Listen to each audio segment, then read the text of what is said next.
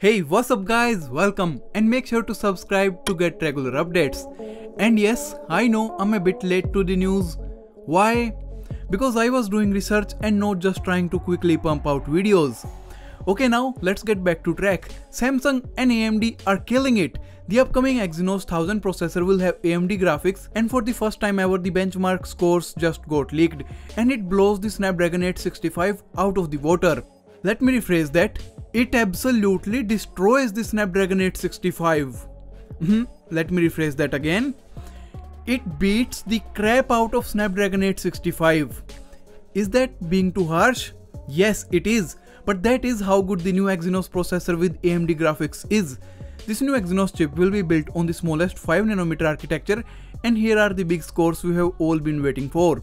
We have the scores from GFX Bench in Manhattan 3.1, the AMD Exynos got an outstanding 181.8 frames per second. This is the highest ever in Manhattan 3.1. And the Snapdragon 865 isn't even close to this one. Wanna have a guess? 150? 160? Oh no, it's in the range of 85 to 90 depending on the manufacturer. OnePlus 8 Pro by the way is 86. This is more than double of an increment. iPhone 11 Pro Max does little better at 120 fps. Now coming to Aztec, in normal tier we have 138.25 FPS and the Aztec high tier we received 58 FPS. The difference in Manhattan 3.1 was almost double in favor of AMD Exynos and in Aztec we have a difference of 3 times in favor of AMD Exynos. The Snapdragon 865 scored 51.8 FPS on normal tier and on high tier it scored 20 FPS. This is a triple fold difference in favor of Samsung. Now you might say that Dude, you are comparing next year's Exynos to this year's Snapdragon. The AMD Exynos will compete against the Snapdragon 875 which will definitely be faster than the 865.